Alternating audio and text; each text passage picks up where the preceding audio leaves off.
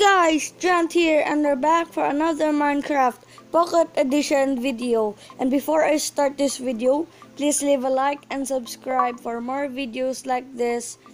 And let's jump right in into the video. So, I have here the new version 1.1.0.8 and I will put the link on the description below so you can sign up to get this Minecraft Pocket Edition or to be a beta tester and this video is not about an update video. I'm gonna show you how to get PC GUI in Minecraft Pocket Edition. No add-ons, no mods, no block launcher, no anything. You just need Minecraft Pocket Edition. And to do that, the first thing it, you need to do is go to YouTube, go to my channel, press the subscribe button, and press the like button. I'm just kidding. I'm just kidding. Um, if you want to do that, you can just do it. But the step is not like that. I just want you to subscribe to my channel. Um, the first thing you need to do is press settings on the on the menu or in the settings tab in when you're playing a Minecraft world you need to press settings. And after you press settings you need to go down on the um, left um, buttons I don't know what you call it. Press video and go down and press show advanced video settings. When you press that you will see this FOV render distance limit world size um, and you will see this UI profile. Um, to get the PC GUI, you need to press um, classic. You need to press classic. Then the magic happens. When you press X, I will show you first on the menu tab.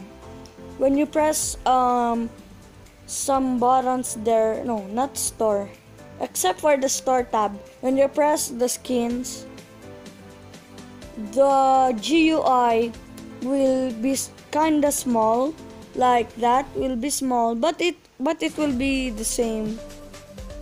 They just change the what you call it? I think they I think it's safe area. Yeah they change the screen safe area into small. But when you press settings it's just like the same. Touch um they changed the safe area. And let's go to a Minecraft world. And um, I will press the three buttons on the bottom right corner. And I'm gonna press it in three two one. Tada! Here. Now you have the PC GUI um it works perfectly and it works um um, this will be useful if you want to clear slots. Just put right there. And you can also do this. Oh, this is your um um your invent inventory and they also added, you know, the dual wield um cuz you can use that like for a um sword, I think. I I think you can use it for a sword and and the totem of undying. When you press the chest or the inventory slot when you put it oh well it's not working. When you put the totem of undying you will see your left hand. You will see the um the mm, what you call it? You will see the totem of undying on your left hand. And when I remove it and put it on here you will see it on your right hand. And that works perfectly in in the dual wield. And you can also do this. Press stone. Make a lol. Well right there. So we have a lol.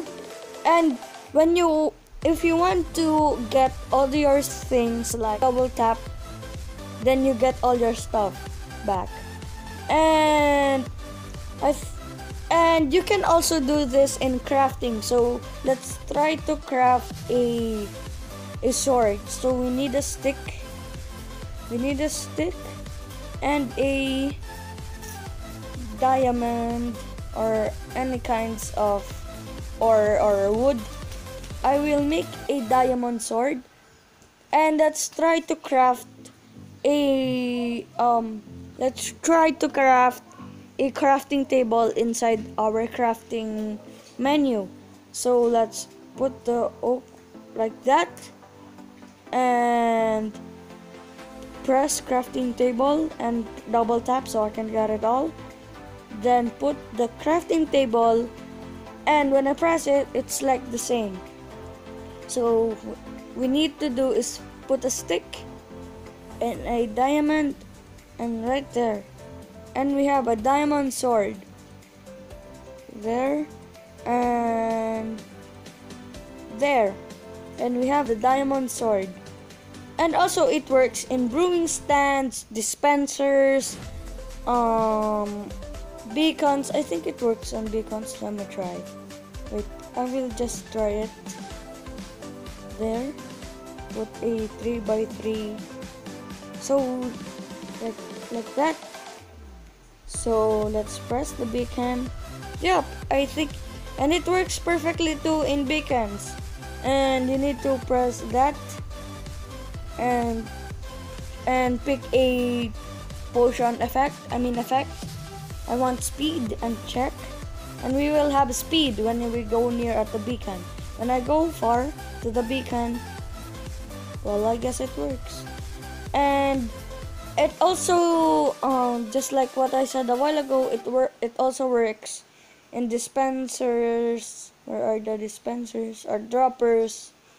Some um interactable things it works. Like when i press beacon i mean dispenser put the diamond sword and press i mean get a button or a lever.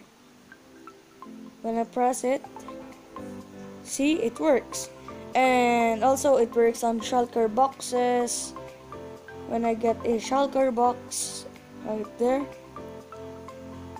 and like that and like that and also you can put it right here on the dispenser dispenser put it like that and get and there.